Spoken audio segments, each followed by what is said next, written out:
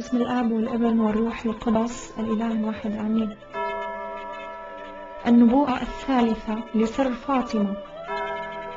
تعهدت الكنيسة الكاثوليكية بنشر سر فاطمة ولكن بعد مرور تاريخ معين. لقد مضي 88 عاما على هذه الظهورات من بعد البابا بيوس الثالث توالى 12 بابا على رئاسة الكنيسة وكان البابا يوحنا بولس الثاني هو الثاني عشر. البابا الذي سلفه وهو الحادي عشر.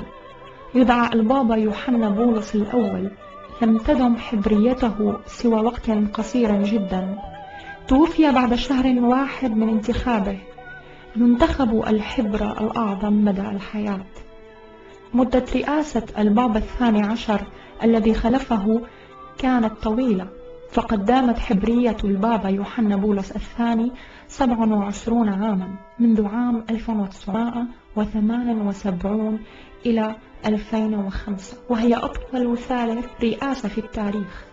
طبقا للنبوءة فإن خليفة يوحنا بولس الثاني سيجري ثورة في الكنيسة الكاثوليكية.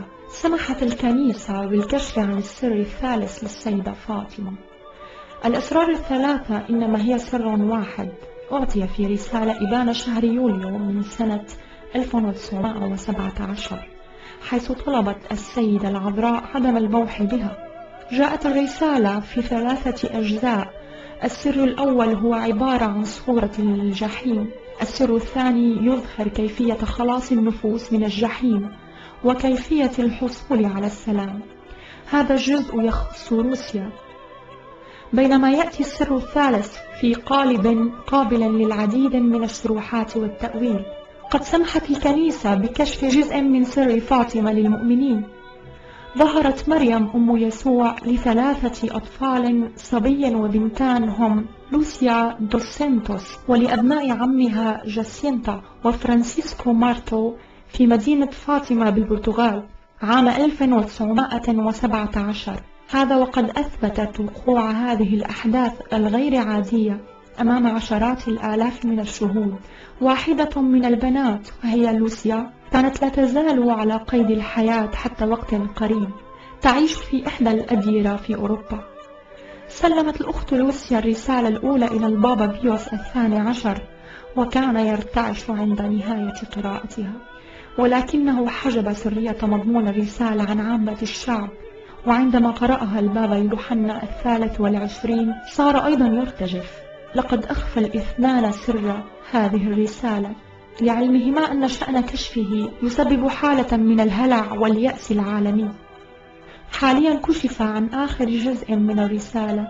ليس الغرض من ذلك الذعر ولكن علينا المعرفة لإعداد نفوسنا. قالت العذراء للوسيا ابنتي لقد أوضحت للعالم ما سيحدث في السنوات منذ عام 1950 إلى عام 2001 فالبشرية لم تعد تمارس وصايا الله الواجب حفظها. إن الشيطان يتحكم بالعالم ويبذر الكراهية والخلاف في كل مكان. أنتجت البشرية أسلحة فتاكة. استعمالها قد يدمر الكرة الأرضية في دقائق قليلة. ستدمر نصف البشرية بطريقة فظيعة وستبدأ الحرب ضد روما. وسيكون هناك صراعات بين السلك الكهنوتي. سيضرب الله العالم بمختلف أنواع الأعراض والظواهر الطبيعية مثل الدخان والبرد والصقيع المياه والحرائق والفيضانات والزلازل وسوء الأحوال الجوية والكوارث الرهيبة للغاية. فصول الشتاء الباردة كل هذا سيحدث على أي حال حوالي سنة 2000 نتجه تدريجيا نحو نهاية الأرض ونقول لمن لا يريد أن يؤمن إن الوقت حان الآن لنرى لنستمع ونصدق حديث الأم المقدسة التي تخاطب البشرية وهي تقول مارسوا الصدقة والصدق وأعمال الخير مع القريب المحتاج. مع أولئك الذين لا يحبون بعضهم البعض كما أحبهم ابني. فبعضهم سيبقى حيا ولكنهم سيتمنون الموت. ملايين من هؤلاء سيفقدون الحياة في بضع ثواني. إن أنواع العقوبات المعدة للأرض لا يمكن تصورها وسوف يذوقونها دون شك. ربنا سوف يعاقب بشدة كل من لا يؤمن به لا سيما الذين يرفضوه ومن ليس لديهم الوقت له. أنادي أناديكم أبنائي وأدعو من جميع من يلجون إلى ابن يسوع المسيح فإن الله هو المساعد لهذا العالم. لكن من لا يشهد بإخلاص وولاء فإن له عذاب أليم. وافق البابا بولس السادس الأب أغسطينيوس الذي يقيم في مدينة فاطمة على زيارة الراهبة لوسيا. حيث أنها كانت متحصنة في دير فلا يحق لها أن تغادره ولا أن تتلقى الزيارات. وقال الأب أغسطينيوس أنها استقبلته بقلب حزين وخاطر كثير. قائلة أبتي إن سيدتنا العذراء حزينة جدا لعدم الاهتمام بنبوءة عام 1917 كما يجب على الصالحين السير في الطريق الضيق بينما يسير الضالين في طريق واسع وسهل يؤدي بهم مباشرة إلى دمارهم الذري. صدقني يا أبتي إن العقاب سيكون عن قريب. أرواح كثيرة على حافة الهلاك أمم عديدة سوف تختفي عن وجه الأرض. ولكن بالرغم من كل ذلك إذا التجأ الناس إلى الصلاة والتأمل وإتمام الصالحات فإنه من الممكن إنقاذ العالم. بخلاف ذلك إن استمر الناس في مرضهم فسوف يهلك العالم البشري إلى الأبد. لقد حان وقت نشر رسالة سيدتنا العذراء مريم على جميع معارفنا وأصدقائنا وأصدقائهم وللعالم أجمع. لقد حان وقت الصلاة لنرفع أرواحنا مستغفرين الله. فنحن على ما يقرب من دقيقة واحدة من اليوم الأخير. الكوارث تقترب ولهذا السبب كثير من هؤلاء الذين ابتعدوا سيرجعون إلى أحضان كنيسة يسوع المسيح. جميع البلدان إنجلترا روسيا الصين العالم بأجمعه كل المؤمنين المتدينين البروتستانت محضرو الأرواح المسلمون البوذيون اليهود كل سيعود إلى العبادة والإيمان بالله. الإيمان برسوله يسوع المسيح وبوالدته القديسة لكن ما الذي ينبغي أن نتوقعه؟ فالكلام عن الهدوء والسلام في كل مكان من دون جدوى. لذا العقاب آت مقتل رجل في منصب مرموق سيسبب حربا. جيوشا جبارة ستعبر أوروبا. ثم تبدأ الحرب النووية. ستدمر هذه الحرب كل شيء. سيعم الظلام والإرهاب على الأرض لمدة 72 ساعة أي ثلاثة أيام. بعد هذه الفترة من الظلام والإرهاب بالكاد سيمنح الله ثلث الإنسانية البقاء ولن يبقى سوى الصالحين للعهد الجديد. خلال ليلة شديدة البرد عشرة دقائق قبل منتصف الليل. زلزال كبير سيرج الكرة الأرضية لمدة ثمان ساعات وستكون هذه العلامة الثالثة. يبرهن فيها الله أنه الحاكم الأوحد على الأرض. ليس على الصالحين ناشري نبوءة مريم العذراء التي أعلنت عنها في فاطمة. أن يرتجفوا أن يخافوا أن يرتعدوا وأن يتساءلوا ما العمل. فما علينا سوى الركوع والصلاة وطلب الغفران من الله؟ لا تتركوا بيوتكم ولا تسمحوا للغريب بالدخول فلن يبقى على قيد الحياة بعد الكارثة سوى الصالحين الأحرار من سلطة الشر. لكي تتمكنوا من إعداد نفوسكم للبقاء على أمثال أولاد الأحباء أعطيكم العلامات التالية المهمة. أغلق الأبواب ونوافذ منزلك. لا تتحدث مع أي شخص ليس فعلا في منزلك. لا تنظر إلى الخارج فلا تكن فضولا لأن هذا هو غضب الرب. أشعل الشموع المباركة لإضاءة البيت. لأن لمدة ثلاثة أيام لا ضوء آخر من شأنه أن يتوهج. حركة الكرة الأرضية ستكون عنيفة لدرجة أن محور الأرض سيخرج عن وضعه الأصلي من عشرون إلى ثلاثة وعشرون درجة ثم يعود إلى مركزه الطبيعي.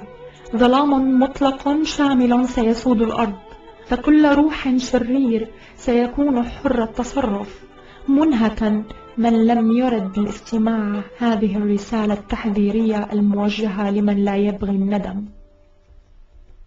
لتتذكر النفوس المسيحية البارة أن تضيء الشموع المباركة. أعدوا مذبحا مكرسا عليه المصلوب. للتواصل مع الله من خلال ابنه الحبيب. طالبين الرحمة اللامتناهية وسط ظلام مدلهم سيظهر في السماء صليب عظيم. مؤله يذكر بالثمن الباهظ الذي دفعه يسوع المسيح من أجل خلاص البشرية جمعاء لم يكون هناك مصدر نور في المنزل سوى نور الشموع المكرسة ولن يطفئها شيء حتى ختام الأيام الثلاثة المظلمة ينبغي أيضا أن يكون لديكم ماء مصلى عليه أو ممغنطة لرش البيت كله ولا سيما الأبواب والنوافذ. سيحمي فالرب ملكية المؤمنين المنتخبين. اسجدوا اسجدوا أبنائي أمام عظمة صليب ابنه الإلهي وصلوا بتخشع قائلين. اغفر لنا يا الله خطايانا. أنقذنا من نار الجحيم. واجذب إليك جميع النفوس. لا سيما من هم بأمس الحاجة إلى رحمتك. أيتها العذراء مريم الحنونة تشفعي فينا. نحن نحبك أنقذي عالمنا. فعلى كل من يؤمن بصحة كلمات هذه الرسالة أن يبعث بها إلى الآخرين. لا يجب أن يرتجف الصالحون لأي سبب في يوم الرب. بينما لا يزال هناك وقت قل فيه الآن لجميع النفوس. فالذين يلتزمون الصمت سيتحملون على عاتقهم مسؤولية فقدان العديد من الأرواح التي لم تصلها البشارة.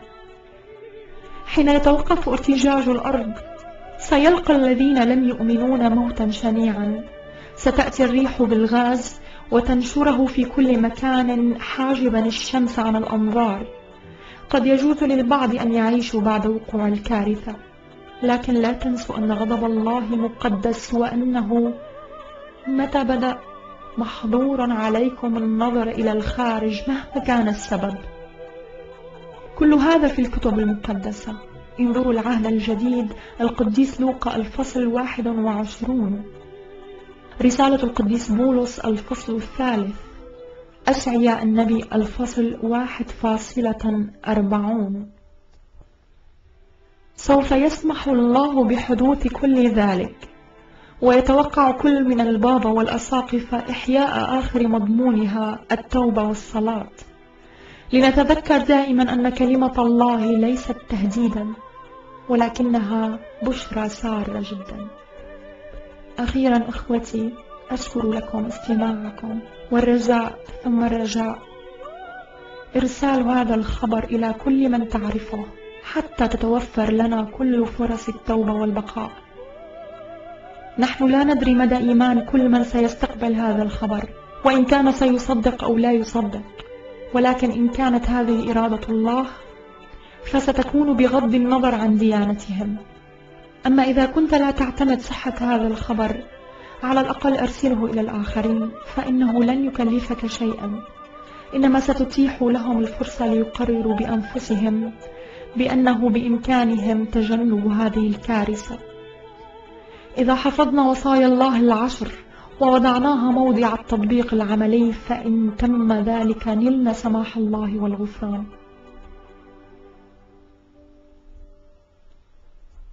انتقلت الأخت الراهبة لوسيا إلى رحمة الله في الحادي عشر من شباط فبراير 2005 بمدينة كوينبرا في البرتغال منذ العشرينات.